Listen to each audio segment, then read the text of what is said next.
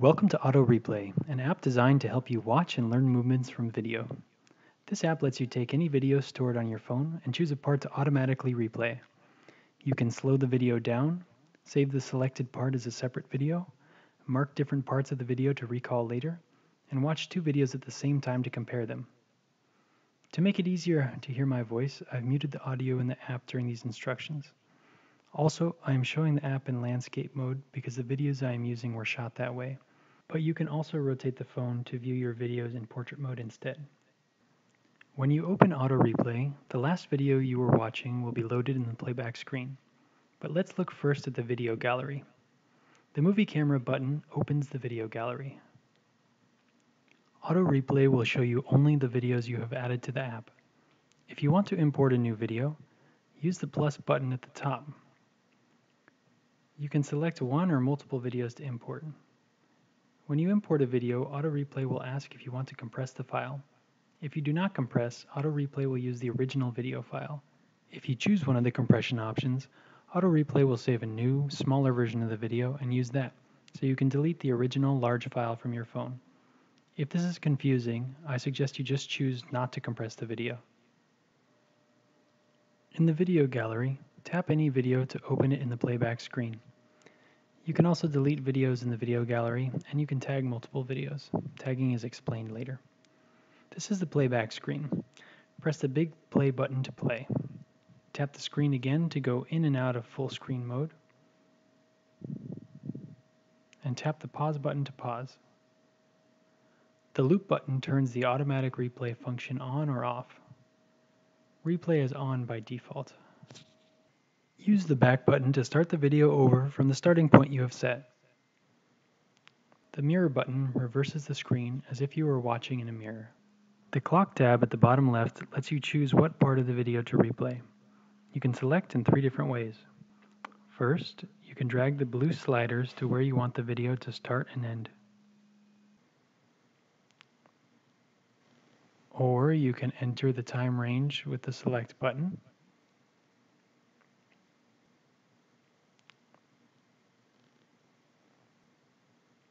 And finally, you can play the video and use the start and end buttons to set where the loop should start and end. The screenshot button saves a screenshot of that video frame to your phone's photo gallery. The export button saves your selection as a new video file.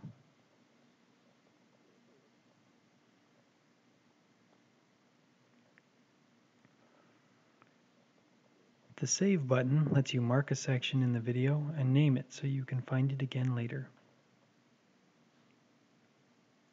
The Select button lets you set the range of your selection directly and also lets you select any section that you saved previously with the Save button. The Clear button clears your selection. The Rabbit tab lets you adjust the speed of the video from 20% to 200%. Use the blue slider to set the speed.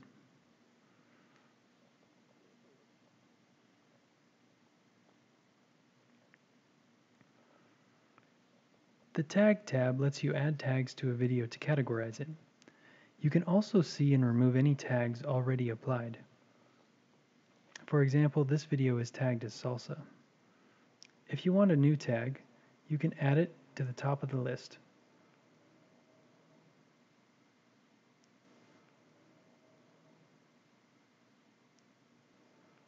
If you want to delete a tag, just swipe to the right. To search for your videos by their tags, use the search bar at the top and check the tags for the videos you want to find.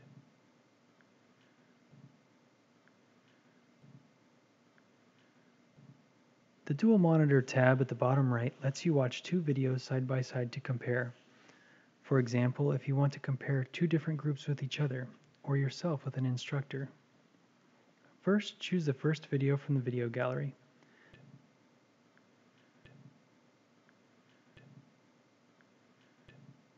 Then use the button on this screen to add the second video. Tap the Dual Monitor tab again to bring up the controls. The Close button closes one of the videos. The Unmute slash Mute button turns the audio for that video on or off. You can play sound from both, one, or neither of the videos.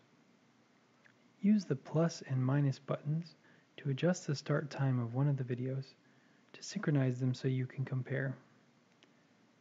When watching two videos, you can still use the clock tab to set the start and end times, and you can set the speed with the rabbit tab.